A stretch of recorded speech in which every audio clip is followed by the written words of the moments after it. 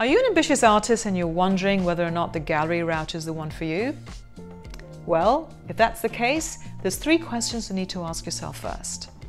Hi, my name is Jasmine. I'm a passionate art collector. I'm an art dealer, curator, and former art gallery owner. I was a dealer in New York and in Europe and in Switzerland, where I'm based now. I help artists who are ambitious to figure out whether or not the gallery route is the one for them. And if that's you, well, you're welcome and you're in the right place. If you're thinking of finding a gallery to represent you, there's three questions you need to ask yourself first before you go on that journey. Number one, what's your vision? You got to ask yourself honestly, why do you want to have a gallery in the first place to represent your work? Is it because you want to have international representation? Is it because you want to have more buyers? You want to sell more? Maybe you want to be a professional artist so that you can pay your rent and feed your cat and not just be a hobby artist. Whatever your reason, be clear about it because that will influence the type of gallery you need to look for. Question number two you need to ask yourself. What category does your artwork belong to? In other words, what kind of artist do you think you are? Are you more the bella arti, the fine artist? In other words, you work with paints, you work with oils, or maybe you work with watercolors and you work like sculptures, for instance. Maybe another category you think you fit more into is you're a graphic designer, illustrator. In other words, you maybe do works that can be published in books and printed in multiple times. Photographers belong in the multiple uh, category. Maybe you're a craftsman. Maybe you work with ceramics, or maybe you're jewelry designer and you work with different materials with your hands. Maybe you work with yarn. Whatever type of category you feel you belong to, you need to be very clear about it because being able to describe yourself and describe what kind of artist you are will help a potential gallery have a vision of how they can work with you and where you fit in their program. So Figuring out what category you belong to is extremely important. Question number three you need to ask yourself if you're looking for a gallery to represent you. Who are your buyers? Who are your buyers today? And who are your buyers you would like to have in the future?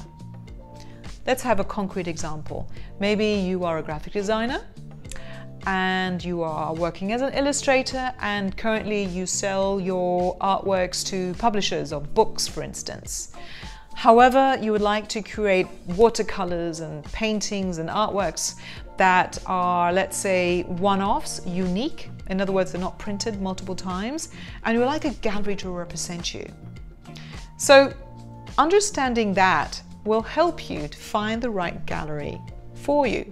Because right now your buyers were books publishers and your future buyers, however, who you would like to have are the art collectors, the people who buy from galleries maybe, people who have paintings and works on paper and they want to buy art for their personal collection, to decorate their home, in other words, you want to come away from the corporate clientele and you want to move into the consumer clientele.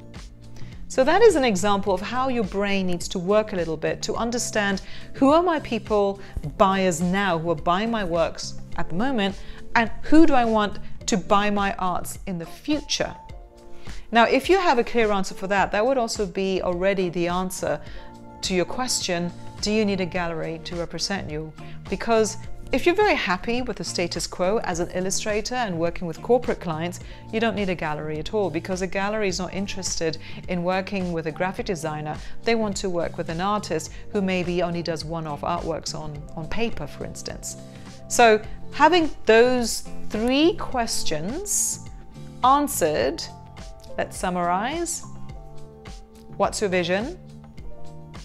What category do you belong to and who are your buyers? Answering these three questions honestly will guide you in the right direction of whether or not a gallery route is the one for you. Now, if you found this very quick and dirty video helpful, then I suggest you not only check out my other videos after this, but do visit my full course on the subject of gallery representation, is it for you or not, on Skillshare. Skillshare, if you're not already a member, is a fantastic platform where you have a huge selection of various courses, specifically also for the artist, where you can learn new skills, where you can understand how you can market your work, use social media. Various questions are answered for you, and all you have to do is pay a monthly fee. And it's a bit like Netflix, I would say, where you just pay once and you have thousands of courses that you can choose from. The good news is I've got a, a link down here just check it out and it will give you one month free membership. And I look forward to see you there. Bye.